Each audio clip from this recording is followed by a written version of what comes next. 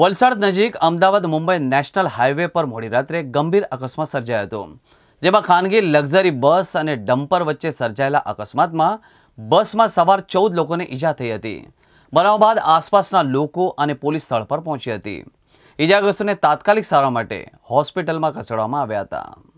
એક ખાનગી luxury bus Mumbai તરફથી સુરત તરફ જઈ રહી હતી અને બસ પૂરપાટ ઝડપે વલસાડ નજીક અમદાવાદ મુંબઈ નેશનલ હાઈવે પરથી પસાર થઈ રહી હતી.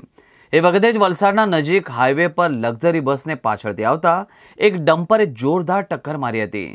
બંને વાહનોની ટક્કરના કારણે ચૌદ લોકોને ઈજા થવા પામી હતી. બનાવ બાદ આસપાસના લોકો અને પોલીસની ટીમ સ્થળ પર પહોંચી હતી અને બસમાં તમામ ઈજાગ્રસ્તોને સારવાર માટે તાત્કાલિક વલસાડ સિવિલ હોસ્પિટલ ખસેડવામાં આવ્યા હતા. ડમ્પર ચાલકે બેફામ રીતે ડમ્પર ચલાવતા અકસ્માત સર્જાયો હતો. આથી પોલીસે આ મામલે જરૂરી કાર્યવાહી હાથ ધરી હતી.